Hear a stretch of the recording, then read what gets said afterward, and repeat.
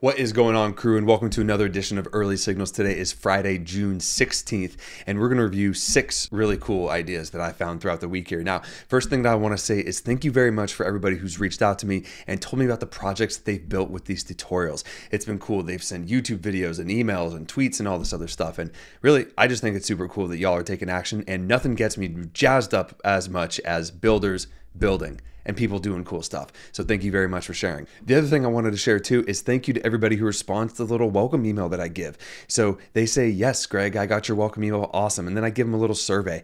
And so I say, what made you sign up? And I give them some options, and people respond back with one, which is the option that they sign for. Most of the people say that they're looking for new ideas to build. Now, this is an inspirational series, so this makes sense to me. There's a lot of really cool ideas we find, and I put them together and hand them over to you so you can go and figure out something to build. Either way, let's jump into this week and let's see what the cool ideas that we have are. As always, the ideas that we review in this video is just a subsection of a full Notion doc that we have. If you don't know it, it's the AI Early Signals doc, and down below here, I have a big long list of ideas. These are the ones we're going to review today, but really we have a whole bunch. I don't want to spoil the surprise. Let's jump into the hottest six ideas that I was a big fan of this week. Our, our first idea is coming from our friend Courtland Allen, who runs Indie Hackers. I've hired a few GPT bots hired in quotes because of course he's probably made it himself to help out behind the scenes on indie hackers now the latest anderson coopbot Okay, kind of clever.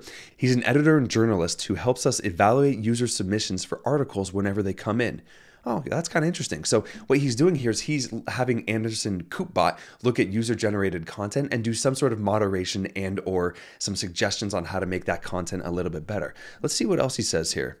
Um, I have a battery of tests I use to improve the bot, evaluate some posts and give them scores, tweak the bot's prompt. Cool, makes sense. But this is the part that really inspired me.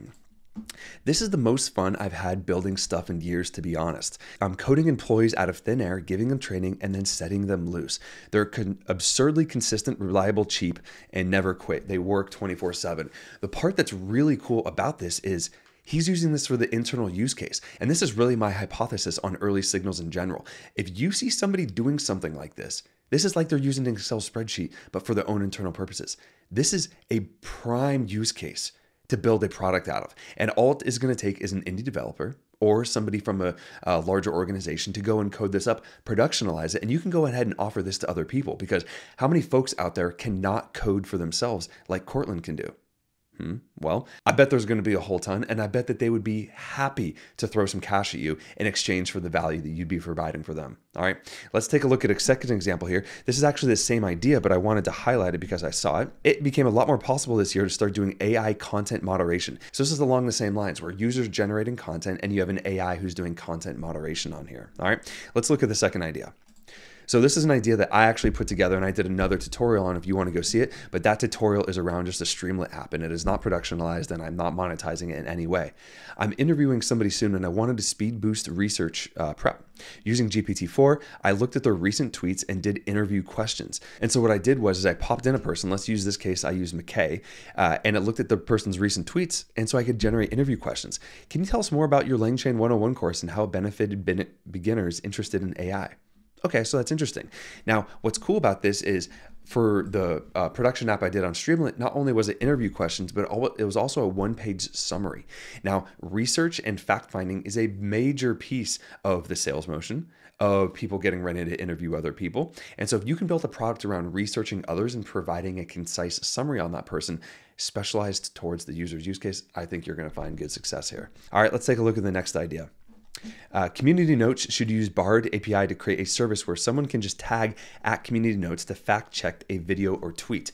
Now, the reason why I thought this one was really, really interesting was because if you can do AI fact checking, then you're going to have a pretty cool product on your hands. Now, of course, hallucinations are going to be a little bit of an issue. If you could do this at scale, I think that you could have a really, really awesome, unopinionated, meaning you're going to play both sides of an argument. Uh, go and gather information, go and gather facts, and see if something actually is true. So the one that they're looking up here happens to be uh, that Tucker, Tucker Carlson uh, tweet that he put out. Can someone take the transcript here, add citations, fact check it, and post to Twitter as a, as a reply? Do this as an automated with an agent. I think you're going to have a really cool product on your hands. All right, let's take a look at the next one here.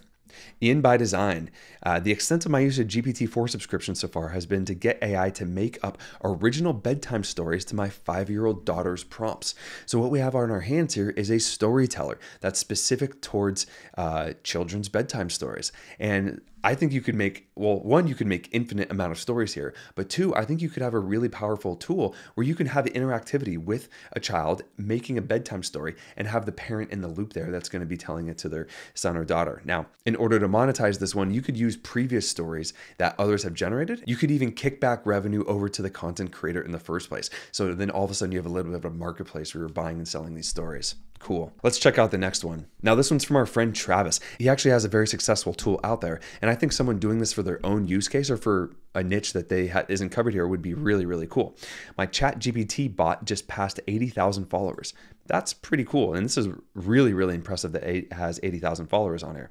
It recently went viral in China with a very specific use case hallucinated bios. I saw this and I was like, what are you talking about? So Chinese users started asking ChatGPT bot in mass to describe the Twitter user with a specific username. But here's the interesting part is that the bot doesn't have any additional context about the user, but yet it was forced to write horoscope like bios that drove crazy engagement. So all of a sudden these folks are saying like, "Hey, here's my Twitter handle give me my horoscope or bot about it just based off the Twitter handle.